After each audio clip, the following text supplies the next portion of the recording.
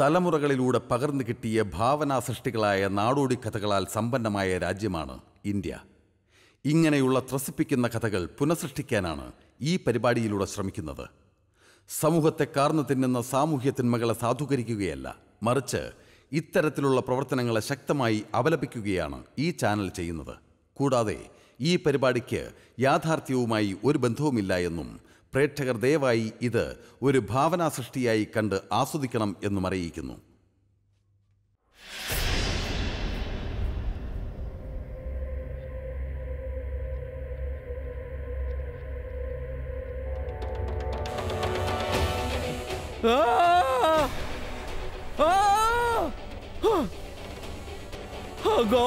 ഞാനിത് എവിടെയും തൂങ്ങിക്കിടക്കണേ. അയ്യോ ഇവിടുന്ന് വീടാ തീർന്നത് തന്നെ. എങ്ങനെയാന്ന് രക്ഷപ്പെടുക? അവനെ ഞാൻ ഇനി ജീവനോടെ വെച്ചേക്കില്ല. പക്ഷേ അവന്റെ ജീവൻ എടുക്കണമെങ്കിൽ എനിക്ക് ജീവൻ ബാക്കി വേണമല്ലോ. യൗവനത്തിൽ തന്നെ താഴെ വീണ് ചാവനാണോ ദർശ നിന്റെ വിധി? എങ്ങനെ ഇവിടെ നിന്ന് രക്ഷപ്പെടുക? ഇവിടെ ആരെങ്കിലും ഉണ്ടോ ആരെങ്കിലും ഉണ്ടോ രക്ഷിക്കണേ. ഒരു ചെറുപ്പക്കാരനോട് ചാവാൻ പോണേ ദർശൻ? ദർശൻ? ഗൗരി ഗൗരി! ദർശൻ എവിടെയാ നീ? ഞാൻ ഇവിടെ. ഇവിടെയാന്ന് വെച്ച എവിടെ? മോളിലേക്ക് നോക്ക്. അത് കൊള്ളാം. താങ്ക് ഗോഡ് നിനക്കൊന്നും പറ്റില്ലല്ലോ ഇവിടെ ഇത്രയും പൊക്കത്തിൽ ഒരാൾ ജീവൻ മരണ പോരാട്ടം നടത്തി തൂങ്ങി കിടക്കുന്ന കണ്ടിട്ട് നിനക്ക് ഒന്നും പറ്റില്ലല്ലോ എന്ന് പറയാൻ മനസ്സ് വന്നു. നീ എന്തിനാ മരക്കൊമ്പി തൂങ്ങി കിടക്കുന്നേ? ഐ മീൻ നീ അവിടെ എന്ത് ചെയ്യാ? ഞാൻ കുറച്ച് കാറ്റുള്ള വന്നതാ. കണ്ടിട്ട് മനസ്സിലാവുന്നില്ലേ? മോളിൽ നിന്ന് താഴോട്ട് വന്നപ്പോ ഇവിടെ വന്ന് തൂങ്ങിപ്പോയതാ. അവിടെ തൂങ്ങി കിടക്കാതെ താഴേക്ക് ഇറങ്ങി വാ ആ ദർശൻ പിശാചുക്കളെ പോലെ പറക്കാൻ നിനക്കിട്ടിട്ടുള്ള കഴിവിന് ട്രെയിനിങ്ങിന് പോകാൻ എനിക്ക് സമയം കിട്ടിയില്ല. അത് കിട്ടിയിരുന്നെങ്കിൽ ഇപ്പൊ വന്നേനെ. ഇത് ഞാൻ കൈകാര്യം ചെയ്തോളാം. ഓക്കെ വെരി നോട്ട് നിനക്ക് ഇതെല്ലാം കൈകാര്യം ചെയ്യാൻ പറ്റുമല്ലോ. ജീവനുണ്ട്. തണ്ടൻ തടിയുള്ള പുരുഷനാണ്. I am sure you will manage it okay എന്നാ പിന്നെ ഞാൻ അങ്ങോട്ട് ബൈ അയ്യോ പോലെ പോലെ പോലെ പോലെ പോലെ പോലെ. അത് പിന്നെ അത് എനിക്ക് ഹൈറ്റിനോട് പണ്ട് പോലെ ഇത്തിരി പേടി കൂടുതലാ. ഇതിപ്പോ കുറച്ച് ഹൈറ്റ് കൂടുതലായി പോയി. നീ പ്ലീസ് ഫയർ ഫോഴ്സിൽ ഒന്ന് ഫോൺ ചെയ്ത് വരുത്ത്. എന്നെ ഇവിടുന്ന് ഇറക്ക്. അവരൊന്നും ഇറക്കിക്കോളും. Please please oh hello. നീ എന്താ കരുതിയേ? നീ യു എസിലും ഞാൻ കൊച്ചിയിലുമാണെന്നോ എക്സ്ക്യൂസ് മീ ഇത് മിഥിലാപുരാണ്. മിഥിലാപുരം. ശ്രീരാമനെ മനസ്സിൽ വിചാരിച്ച ഒരൊറ്റ ചാട്ടം ചാടിക്കോ. ഫയർഫോഴ്സിനെ വിളിച്ച ഒന്നോ രണ്ടോ ദിവസം എടുക്കും ഇങ്ങോട്ട്. ദിവസങ്ങൾ എടുക്കുമെന്നോ അതുവരെ ഞാൻ ഇവിടെ തൂങ്ങി കിടക്കണോ? താഴേക്ക് ചാടിക്കോ. അയ്യോ ഇല്ല. ഇത്ര ഉയരത്തിന്ന് ഞാൻ അങ്ങനെ ചാടും. അത്രയ്ക്ക് ഉയരമൊന്നുമില്ല. താഴേക്ക് നോക്കി. ഇല്ല ഇവിടുന്ന് ചാടുക എന്റെ എല്ലാം പൊടിഞ്ഞു പോകും നീ പേടിച്ച് എന്നെ ഹലോകവാസം വെടിയുമല്ലോ എന്നാ നിക്ക്. ഞാൻ എന്തെങ്കിലും വഴിയുണ്ടോ നോക്കട്ടെ.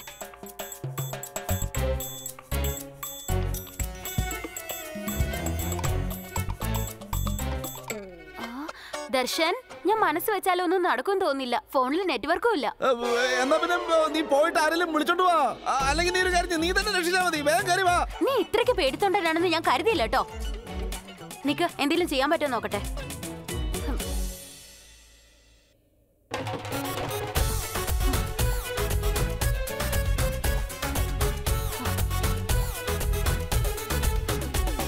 എന്റെ ഹനുമാസ്വാമി എന്നെ രക്ഷിക്കണേ? രക്ഷിക്കണേ?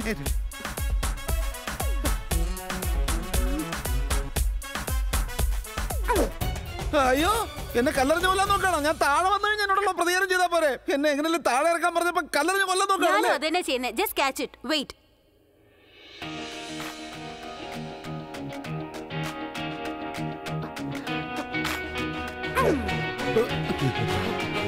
ഇനിയിപ്പോ എന്താ ചെയ്യണ്ടേ? ഓ മൈ ഗോഡ് നീ ശരിക്കും മണ്ടനാണല്ലോ. ദർശൻ ആ കയർ മരക്കൊമ്പിലേക്ക് കെട്ടിവെച്ച് താഴേക്ക് ഇറങ്ങ്. യു ഗൈ യു നോ കുറച്ചു കാലം യു എസ് എയിലെ ജീവിച്ചു എന്ന് കരുതി ഇന്ത്യയിലെ പല രീതികളും അങ്ങ് മറന്നു പോവാണോ പതിവ്? ജീവൻ രക്ഷിക്കാൻ ഇതും ഒരു വഴിയാ. ആ കയർ അവിടെ കെട്ടി താഴേക്ക് ഇറങ്ങ്. ഹലോ ഒന്ന് ഞാനെന്താ സർക്കസിൽ നിന്ന് റിട്ടയർ ചെയ്ത കൊരങ്ങനെന്ന വിചാരം? ഇല്ല.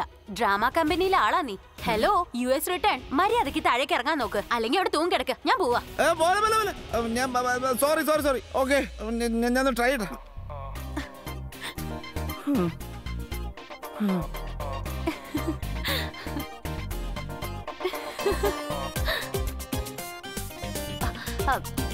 ദർശൻ നീ നിന്റെ ആ റൈറ്റ് ലെഗ് ആദ്യം താഴോട്ട് വെക്ക്.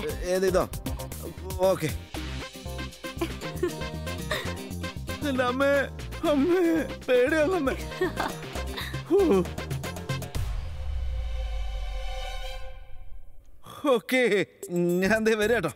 ഇത് ഭയങ്കര ഈസി അല്ലേ.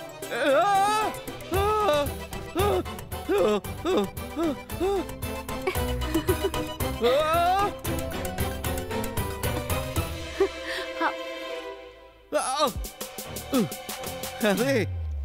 ശരിക്കും ഈ കുരങ്ങന്മാരൊക്കെ സമ്മതിക്കണോ അല്ലേ? അതാണല്ലോ നീ. ഇത് ഭയങ്കര ഈസി അല്ലേ? സോ ഗുഡ് അറ്റ് ദിസ് ശരി ശരി. താഴേക്ക് ഇറങ്ങും മോനെ. ഡൗൺ ടു എർത്ത് വന്നോണ്ടിരിക്കുക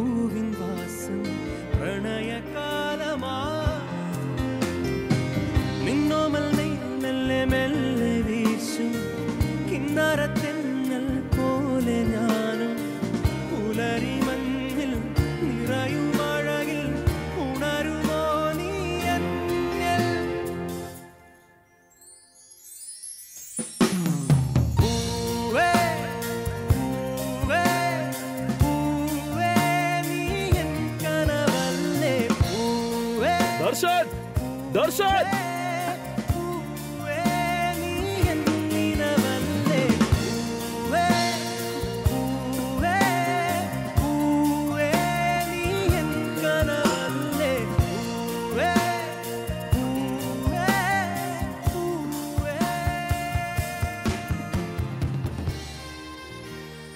ഇതെന്താ സാധനം? കണ്ടിട്ട് ഇതൊരു ബോക്സ് ആണെന്ന് തോന്നുന്നു. അത് കണ്ടപ്പോ എനിക്ക് മനസ്സിലായി. പക്ഷെ ഈ സാധനം ഇവിടെ ആരെ കൊണ്ടുവന്നിണ്ടാവുക? ഒരു പിടിയില്ല. ഇതേതോ ആന്റിക് ബോക്സ് ആണ് കേട്ടോ ദർശൻ. ദർശൻ! അത് ശരി. നിങ്ങൾ ഇവിടെ ഉണ്ടായിരുന്നോ? എന്താണ് പറ്റിയ? താങ്ക് ഗോഡ് നിങ്ങൾക്ക് ആപത്തൊന്നും പറ്റില്ലോ നിങ്ങൾ ഈ കാട്ടിൽ എന്തെടുക്കാനോ? വന്നേ നിങ്ങളെ പുറത്ത് എല്ലാവരും വെയിറ്റ് ചെയ്യാം. ഇത് ഈ പെട്ടി ഇവിടെ എങ്ങനെ? ദർശൻ ഈ പെട്ടി എങ്ങനെയാ നിങ്ങളുടെ കയ്യിൽ എത്തപ്പെട്ടത്? നിനക്ക് ഈ പെട്ടി ആരുടെയാണെന്നുള്ള കാര്യം അറിയാവോ ഇത് അതേ പെട്ടി തന്നെയല്ലേ? ഏത് പെട്ടി? നേരത്തെ ആ താന്ത്രികനെ കുറിച്ച് തിരുമേനി നമ്മളോട് പറഞ്ഞിരുന്നില്ലേ? അയാളെ മൂന്ന് കഷ്ണങ്ങളാക്കിയിട്ടുണ്ടെന്ന്. ആ മൂന്ന് ഭാഗങ്ങളിൽ ചിലപ്പോ ഒരു ഭാഗം ഈ പെട്ടിക്കകത്ത് കണ്ടാലോ? ഒന്നുകിൽ ശരീരം അതല്ലെങ്കിൽ തല അതുമല്ലെങ്കിൽ അയാളുടെ കൈ. തിരുമേനിയുടെ ബലമായ സംശയം അദ്ദേഹത്തിന്റെ മകൻ അമ്പലത്തിൽ അന്വേഷിക്കുന്നത് ഈ പെട്ടിയെക്കുറിച്ച് തന്നെയാണെന്നാ. ഇത് വർഷങ്ങൾ പഴക്കമുള്ള കാര്യമല്ലേ? ഇത്രയും വർഷങ്ങൾക്ക് ശേഷം ഇതൊക്കെ എങ്ങനെയാ? ആ താന്ത്രികനാണെങ്കിൽ മരിച്ച താന്ത്രികന്മാർ മരിക്കാറില്ല. അവർ മരിച്ചാലും ജീവിച്ചിരിക്കുന്നതിന് തുല്യ. ഇവൻ തീർച്ചയായിട്ടും ഏതോ ഭീകരനോലും വായിച്ചിട്ടുണ്ട്. അതാ ഈ പിച്ചും പേയും പറഞ്ഞ് നടക്കണേ. എടാ ഇങ്ങനത്തെ കഥകളൊക്കെ ഞാൻ പണ്ട് ഒരുപാട് ഇതൊരു ഒരു കഥയല്ല ദർശൻ. ആ തിരുമേനി തന്നെ താന്ത്രികന്റെ ശരീരഭാഗങ്ങൾ വെവ്വേറെ പെട്ടിയിലിട്ട് പൂട്ടിയത്. എന്റെ അച്ഛൻ ആ മൂന്ന് പെട്ടികളും വെവ്വേറെ സ്ഥലങ്ങളിൽ കുഴിച്ചു മൂടിയത്. കുഴിച്ചു മൂടിയെന്നോ? അപ്പൊ ഇതെങ്ങനെ പുറത്തു വന്നേ? തന്നെ പൊട്ടി മുളച്ചു വന്നോ? എങ്ങനെയാണെന്നൊന്നും എനിക്കറിയില്ല. പക്ഷെ എന്തോ ദുരൂഹതയുണ്ട്. നമ്മുടെ അടുത്ത് തന്നെ ഉണ്ടെങ്കിലും കാണാൻ പറ്റുന്നില്ല. നമ്മളിനി ഈ പെട്ടിയെക്കുറിച്ചുള്ള വിവരങ്ങളാണ് കണ്ടെത്തേണ്ടത്. സോറി നിന്റെ ഹരി ഓക്കേടാ. ഇവളുടെ കൂടെയുള്ള കമ്പനിയില്ലേ? അതിന്റെ ഗുണത് അത്. ദർശൻ തമാശ പറയുന്നതിനൊരു ഞാനാണോ പറയുന്നത്? പറയുന്നത് മുഴുവൻ നിങ്ങളല്ലേ? നിനക്കിത് തമാശയായിട്ട് തോന്നാം. പക്ഷെ ഈ ഒരു പെട്ടിക്കാരനെ എന്റെ അച്ഛൻ ഇന്ന് കൊല്ലപ്പെട്ടത്. കുറെ വർഷങ്ങളായി അച്ഛന്റെ ദയനീയാവസ്ഥ കാണാൻ തുടങ്ങിയിട്ട്. അച്ഛൻ ഒരിക്കലും സ്വബോധം തിരിച്ചു കിട്ടിയിട്ടില്ല. ഒന്നും സംസാരിക്കാറില്ല. ഗൗരി എന്നെ സഹായിക്കാൻ വന്നപ്പോൾ ചെറിയൊരു പ്രതീക്ഷ ഉണ്ടായിരുന്നു അച്ഛന്റെ അസുഖം ഭേദമാവുമെന്ന് കരുതി. പക്ഷെ അച്ഛൻ അന്നാ കാട്ടിലേക്ക് ഇറങ്ങി ഓടിയത്. പിന്നെ എനിക്ക് തിരികെ കിട്ടിയത് അച്ഛന്റെ ശവശരീരം. എന്റെ എന്റെ അച്ഛൻ മരിച്ചു കഴിഞ്ഞിരിക്കുന്നു. എന്നിട്ട് എനിക്കൊന്ന് ഉള്ളു തുറന്ന് കരയാൻ പോലും പറ്റിയിട്ടില്ല. എല്ലാം എത്ര പെട്ടെന്ന് അവസാനിച്ചത്? എന്റെ അച്ഛന്റെ ജീവിതം അദ്ദേഹത്തിന്റെ സാമീപ്യം. എല്ലാം എനിക്ക് നഷ്ടപ്പെട്ടിരിക്കുന്നു. അച്ഛൻ ഒരു ജീവച്ചമം പോലെ ജീവിച്ചത് എല്ലാറ്റിനും ആ- താന്ത്രികനായിരുന്നു കാരണക്കാരൻ. ആ നിങ്ങൾക്കിതൊന്നും വിശ്വസിക്കാൻ പറ്റില്ലെന്ന് എനിക്കറിയാം. ഇനിയിപ്പോ ഇരുപത്തഞ്ച് വർഷം പിന്നിട്ടാലും ശരി. ആ താന്ത്രികന്റെ ശരീരങ്ങൾക്ക് ജീവൻ ഉണ്ടാവും എന്നുള്ള കാര്യം ഉറപ്പാ. ഞാനതിൽ വിശ്വസിക്കുന്നുണ്ട് അത് തന്നെയാണ് സത്യം. ഞാൻ ഈ മാർഗത്തിലൂടെ തന്നെ നടന്നത് എന്താണെന്ന് മനസ്സിലാക്കും. ഒടുവിൽ അച്ഛന്റെ മരണത്തിന് പിന്നിൽ പ്രവർത്തിച്ച കൈകൾ ഏതാണെന്നും മനസ്സിലാക്കും. ഞാൻ അന്വേഷിക്കുന്നതല്ല ഈ പെട്ടിയിൽ നിന്ന് എന്നെ കണ്ടെത്തും. ഇതെല്ലാ രഹസ്യങ്ങളും എന്നോട് പറയും. ഇറ്റ്സ് ഓക്കെ ഭരത. നമ്മുടെ സ്വന്തം ബന്ധങ്ങൾ മരിക്കുമ്പോൾ നമുക്ക് സങ്കടം ഉണ്ടാവും. ആൻഡ് എസ്പെഷ്യലി സുഹൃത്തുക്കളുടെ അടുത്ത് നിൽക്കുമ്പോൾ സങ്കടം ഇരട്ടിക്കേ ഉള്ളൂ.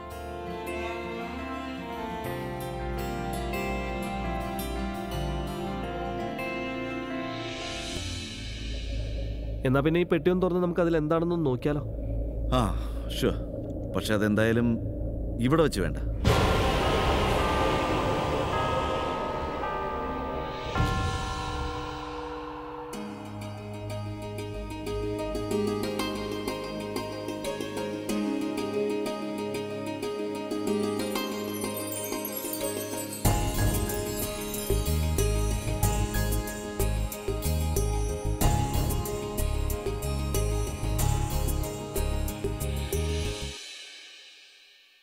ആ മതി മതി മതി മതി. ഇതിന്റെ ഒന്നും ആവശ്യമില്ല മക്കളെ. അത് മാത്രമല്ല നിങ്ങളുടെ അച്ഛൻ ടൗണിലേക്ക് പോയപ്പോൾ വലിയ പരിഷ്കാരി ആയതല്ലേ? മനസ്സുകൾ തമ്മിലുള്ള ബന്ധം പ്രധാനം. താനെന്തോടെ അവിടെ നിന്ന് കളഞ്ഞ വാടോ? എന്റെ പ്രദീപേട്ട എത്ര വർഷം കൂടിയാ ഒന്ന് കാണുന്നേ?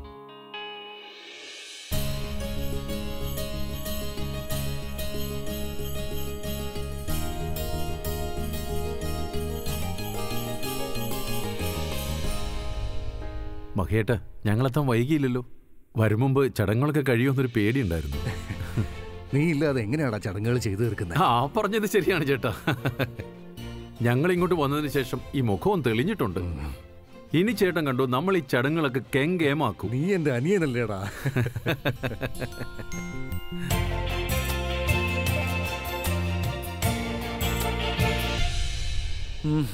എന്നെ കൊണ്ട് പറ്റുന്നതൊക്കെ ചെയ്തു നോക്കി. പക്ഷെ ഈ പൂട്ട് തുറക്കാൻ പറ്റുന്നില്ല. ഇനിയിപ്പോൾ എന്താ ചെയ്യാ? ഇതൊരു സാധാരണ പെട്ടിയല്ല ദർശൻ. ഇത് പൂട്ടാൻ ഉപയോഗിച്ച താക്കോലുണ്ടെങ്കിൽ മാത്രമേ നമുക്കിത് തുറക്കാനും സാധിക്കുകയുള്ളൂ. ഇതിനകത്ത് ആ താന്ത്രികന്റെ ഏത് ശരീരഭാഗമാണെങ്കിലും അങ്ങനെ ചെയ്ത പുറത്തു വരണമെന്നില്ല. ഭരത നീ എന്തൊക്കെ വർത്തമാനം പറയുന്നത് എനിക്കിതിലൊന്നും യാതൊരു നീ ഇതിൽ വിശ്വസിക്കണ്ടെങ്കിലും ഞാൻ ഇതിൽ വിശ്വസിക്കുന്നുണ്ട് ഇരുപത്തഞ്ച് വർഷം എന്റെ അച്ഛൻ മരിച്ചു മരിച്ചാ ജീവിച്ചത്. ഈ ഒരു പെട്ടി കാരണം സംഭവങ്ങളുടെ യഥാർത്ഥ അവസ്ഥ അറിയണമെങ്കിൽ ഈ പെട്ടി തുറന്നേ പറ്റൂ ദർശൻ. ഇരുപത്തഞ്ച് വർഷങ്ങൾക്ക് മുമ്പുള്ള എല്ലാ രഹസ്യങ്ങളും ഈ പെട്ടിക്കകത്ത് അടഞ്ഞു കെടുക്കുക. എടാ ഭരത നിന്റെ വിഷമം എനിക്ക് മനസ്സിലാവുന്നുണ്ട്. പക്ഷേ എടാ ഇത് ഇരുപത്തഞ്ച് വർഷം മുമ്പ് നടന്ന കാര്യമാണ് ഇനി ആ താന്ത്രികന്റെ എന്തെങ്കിലും ശരീരഭാഗങ്ങൾ ഇതിലുണ്ടെങ്കിൽ തന്നെ അത് അസ്ഥിപഞ്ചരായിട്ടുണ്ടാവും. അതിൽ നിന്ന് എന്ത് മനസ്സിലാക്കാനാ? ശരിയാ ഭരത. ഈ പെട്ടി തുറക്കാൻ ശ്രമിക്കുന്നതിന് പകരം വിജയ് എവിടെയാണെന്ന് കണ്ടുപിടിക്കാം. നിന്റെ അച്ഛന്റെ കൊലയാളി അവൻ അവന് ശിക്ഷ വാങ്ങിക്കൊടുക്കണം. നിങ്ങൾക്കിതൊന്നും പറഞ്ഞാൽ മനസ്സിലാവില്ല. വിജയ് കണ്ടുപിടിച്ച ഈ പെട്ടിയുടെയും താന്ത്രികന്റെയും ചിത്രങ്ങൾ തിരുമേനി എന്റെ കയ്യിൽ ഏൽപ്പിച്ചിരുന്നെങ്കിൽ വലിയ പ്രശ്നം ഉണ്ടാവില്ലായിരുന്നു. ഗൗരി നിനക്ക് എല്ലാ കാര്യങ്ങളും അറിയാവുന്നല്ലേ ദർശൻ തിരുമേനിക്ക് എല്ലാ കാര്യങ്ങളും അറിയാം. പക്ഷെ അദ്ദേഹം പേടിക്കുന്നു പ്രദീപ് അങ്കിളിനെ അതുകൊണ്ടാണ് വിജയ്ക്ക് ഇന്നേ വരെ പെട്ടിയുടെ അടുത്ത് എത്താൻ കഴിയാതിരുന്നത്. ഇതിനകത്ത് എന്താണെങ്കിലും അതിന് പുറത്തു വരാൻ കഴിയാതിരുന്നത്. ഇതിന്റെ താക്കോലുകളെല്ലാം പ്രദീപങ്ങളുടെ കയ്യിലാണ് അദ്ദേഹം ഇത്തരം കാര്യങ്ങൾ വിശ്വസിക്കാറുമില്ല. അതുകൊണ്ട് ഇന്ന് വരെ ആരും ഇതേക്കുറിച്ച് ചോദിച്ചിട്ടുമില്ല.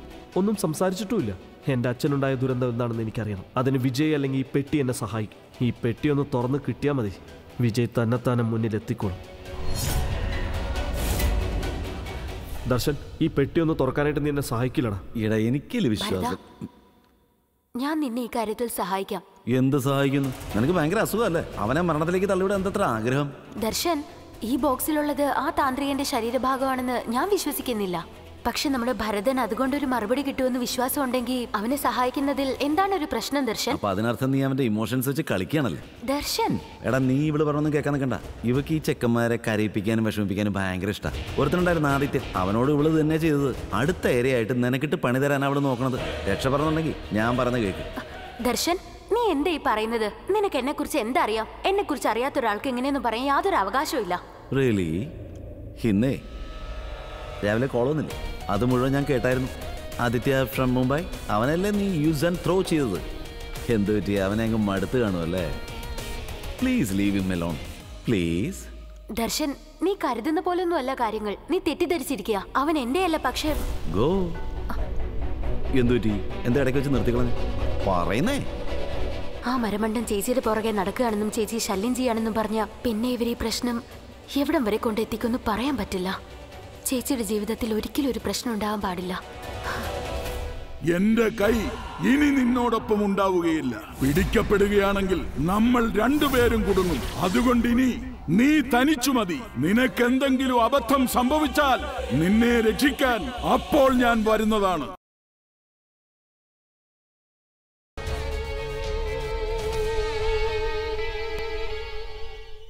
ദർശൻ നീ എന്ത് വേണമെങ്കിലും വിചാരിച്ചോ. ഞാൻ പറയാനുള്ളത് പറഞ്ഞു കഴിഞ്ഞു. ഭരതനെ സഹായിക്കാൻ ഞാൻ റെഡിയാണ്. എന്തു വേണമെന്ന് നിങ്ങൾ തീരുമാനിക്കാം. നീ എന്നെ നിന്റെ ആത്മാർത്ഥ സുഹൃത്തായിട്ട് കാണുന്നുണ്ടെങ്കിൽ ഈ പെട്ടി തുറക്കാൻ നീ എന്നെ സഹായിച്ചേ പറ്റൂ. ഇതപ്പൊ നന്നായി. ഭരതൻ ഇപ്പൊ എന്നെ ഭരത സങ്കടത്തിലല്ലേ പെടുത്തിയത്? എന്നാ പിന്നെ അച്ഛനോട് പോയിട്ട് താക്കോൽ ചോദിക്കാം. ഇല്ല ദർശൻ. പെട്ടി നമ്മുടെ കയ്യിലുണ്ടെന്ന പ്രതിഭങ്ങൾ എങ്ങനെ അറിഞ്ഞാലുണ്ടല്ലോ. എവിടെയെങ്കിലും വലിച്ചെറിയാനോ മറവ് ചെയ്യാനോ പറയും. അങ്കിൾ അറിയാതെ തന്നെ നമ്മൾ ആ താക്കോൽ കണ്ടെത്തണം. എടാ അതുവരെ നമ്മൾ ഈ പെട്ടി എന്താ ചെയ്യാ? നിങ്ങൾ ഞാൻ പറയുന്നത് കേൾക്കാൻ തയ്യാറാണെങ്കിൽ ഒരു ബെസ്റ്റ് ഐഡിയ പറയട്ടെ. വളവളാന്ന് വർത്താനം പറയാതെ കാര്യം എന്താന്ന് വെച്ചാ പറ. ദർശൻ ഈ ബോക്സ് നമുക്ക് നേരെ വീട്ടിലേക്ക് കൊണ്ടുപോവാം. ഇന്ന് തിലകത്തിന്റെ സെർമണിയല്ലേ ഒത്തിരി ആൾക്കാരുണ്ടാവും. ഒത്തിരി പേരെ ക്ഷണിച്ചിട്ടുണ്ട്. നമ്മൾ ഈ ബോക്സ് അകത്തേക്ക് കൊണ്ടുപോകണം. എന്നിട്ട് ഒളിപ്പിച്ചു വെക്കണം. പിന്നെ ദർശൻ ഈ ബോക്സിന്റെ താക്കോൽ കൊണ്ടുവരണം. എന്നിട്ട് ഭരതൻ ഇത് തുറന്നു നോക്കി നിന്റെ സംശയങ്ങളെല്ലാം തീർക്ക്. ഭവതിയുടെ ആഗമനത്താൽ എന്റെ ഗ്രഹം ധന്യമായിരിക്കുന്നു മാതേ. കണ്ടില്ലേ? എടാളിയ ആർക്കെങ്കിലും ഐഡിയ വേണമെങ്കിലുണ്ടല്ലോ. ഈ പണി കൊടുക്കുന്ന ഐഡിയ. അതിലുള്ള കേമിയ. ഇവളീ പണി കൊടുക്കുന്ന കാര്യത്തിൽ പി എച്ച് ഡി എടുത്തിട്ടുണ്ട്. സൂപ്പർ. എന്നാ പിന്നെ നമുക്ക് ഈ പെട്ടി എടുത്തോണ്ട് കൂടെ പോയാലോ? എന്നാ കേട്ടോ. നിനക്കെന്താ പെട്ടി എടുക്കണമെന്ന് ആഗ്രഹമുണ്ടോ? ഇല്ലേ മാറുന്നേ. താങ്ക് യു ഈ എടുക്കളയാ കാലാസുര എന്താ ഇവിടെ നടക്കുന്നത്? വ്യക്തമായിട്ടൊന്ന് പറയൂ. ഇതെല്ലാം എന്റെ പദ്ധതിയായിരുന്നു. ഇനി ഇവർ തന്നെ അതെനിക്ക് വേണ്ടി തുറക്കും. എന്നെ സ്വതന്ത്രനാക്കുകയും ചെയ്യും. കേൾക്ക്. എന്റെ ശിരസ് പോകുന്നതിനോടൊപ്പം നീയും ആ ബംഗ്ലാവിലേക്ക് ചെല്ലണം. അവരതിനുള്ള താക്കോൽ എടുത്തോണ്ട് വരുമ്പോൾ എന്ത് ചെയ്തിട്ടാണെങ്കിലും നീ ആ താക്കോൽ കൈക്കലാക്കണം. എന്നിട്ട് എന്നെ ഇതിൽ നിന്ന് സ്വതന്ത്രനാക്കുകയും വേണം. ഇതൊക്കെ എങ്ങനെ നടക്കാനാ? അവിടെയുള്ള എല്ലാവരും എന്നെ വെറുക്കുന്നുണ്ട്. ആ ബംഗ്ലാവിലേക്ക് കയറാൻ പറ്റില്ല. എന്ത് ചെയ്തിട്ടാണെങ്കിലും നീ ആ ബംഗ്ലാവിൽ കയറി പറ്റണം. പക്ഷെ എന്റെ കൈ നിന്നോടൊപ്പം ഉണ്ടാവുകയില്ല. കാരണം പിടിക്കപ്പെട്ടാൽ നമ്മൾ രണ്ടുപേരും കുടുങ്ങും. അതുകൊണ്ട് ഇനി മുതൽ നീ എല്ലാം ഒറ്റയ്ക്കാണ് ചെയ്യേണ്ടത്. ഇനി നിനക്കെന്തെങ്കിലും അബദ്ധം സംഭവിച്ചാൽ അപ്പോൾ ഞാൻ വരും. നിന്നെ രക്ഷിക്കുകയും ചെയ്യും. പരിപാടികൾ തുടങ്ങിയല്ലോ. ഇനിയിപ്പോ എന്താ ടെൻഷൻ ആവാതെ നമുക്ക് നോക്കാം. ഞാനിവിടെ മറഞ്ഞു നിൽക്കാം.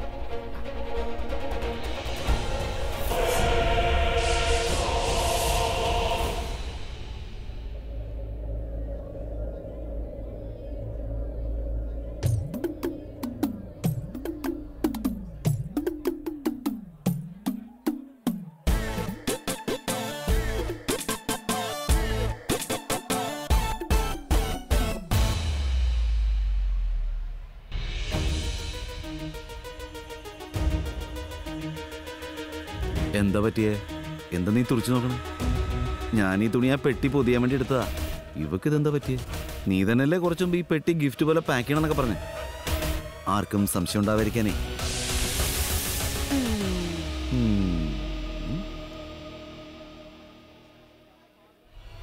നന്നായിട്ട് പൊതിയണം.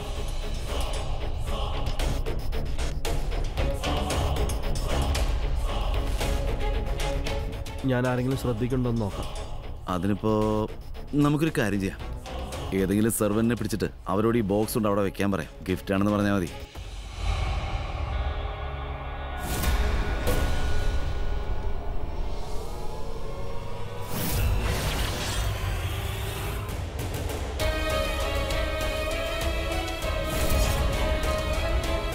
ആ പെട്ടി ഞങ്ങളുടെ കയ്യിലുണ്ട്. എന്ത്?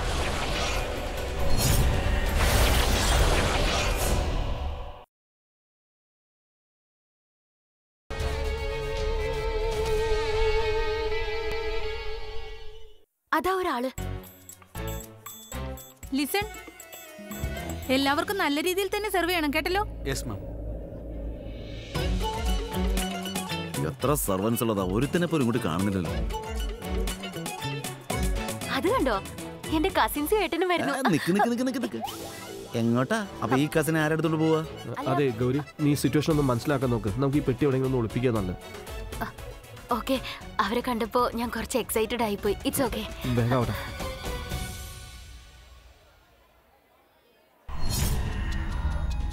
ആ ലിസൺ നിങ്ങൾ ഈ കാലിപ്പാത്രം കൊണ്ട് എങ്ങോട്ടാ ഈ പോകുന്നത് നിങ്ങൾ പോയി എനിക്ക് കഴിക്കാൻ കുറച്ച് ജിലേബി ലഡു എടുത്തോണ്ട് വാ. കുടിക്കാനും കൂടി എന്തെങ്കിലും വേണം. പെട്ടെന്ന് ചെല്ല്.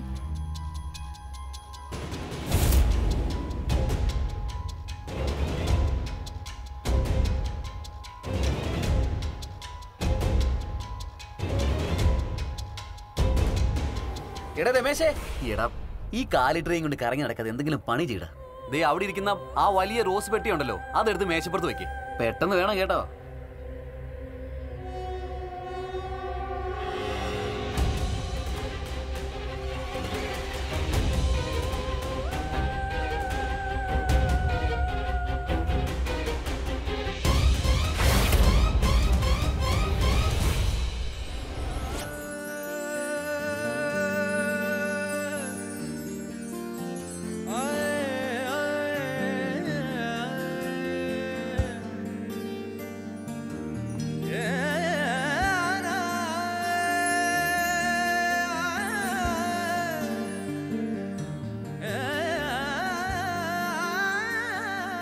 Gauri?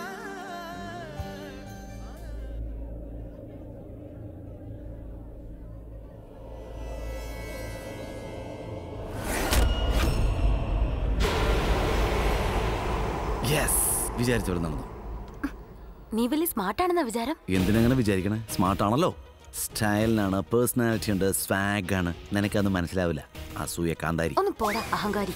Darshan that's what go Vijay ഉടനെ തന്നെ പിടിക്കും. അതിനുള്ള എല്ലാ ഏർപ്പാടുകളും ചെയ്തിട്ടുണ്ട്. ഗുഡ്. അവനെ പിടിക്കുമ്പോൾ തന്നെ എന്നെ അറിയിക്കണം. പിന്നെ ശ്രദ്ധിക്കേണ്ട മറ്റൊരു കാര്യം അവൻ ടൗണിൽ നിന്ന് പുറത്തു പോകാൻ പാടില്ല. ചെറിയ ചെറിയതിന് അത്ര ക്യൂട്ട് നീ പെട്ടെന്ന് പോയി റെഡി ആയിട്ട് വാ. ചടങ്ങ് തുടങ്ങാൻ നേരമായി. ഞാൻ ഇപ്പൊ തയ്യാറായിട്ട് വരാം. രമേഷ് സാർ. നീ ഇപ്പോഴും ഈ ഡ്രസ്സിൽ തന്നെ നിൽക്കുകയാണോ? ഗൗരി നീ പോയി പെട്ടെന്ന് റെഡി ആയിട്ട് വാ. ചടങ്ങുകൾ തുടങ്ങാൻ സമയമായി. ശരി.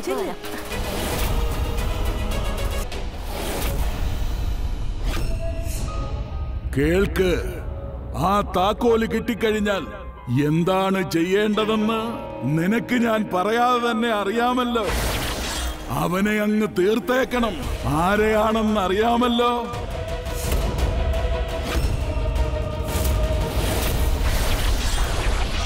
ഒടുവിൽ എന്റെ ശിരസ് സ്വതന്ത്രമാകാൻ പോവുകയാണ് എന്റെ കൈ എനിക്ക് കിട്ടിയതുപോലെ. ഇനി അധികം വൈകാതെ അവർ ഈ പെട്ടിയുടെ താക്കോൽ കണ്ടെത്തും. എന്റെ ശിരസ് സ്വതന്ത്രമാവുകയും ചെയ്യും. അതോടെ എല്ലാം അവസാനിക്കും.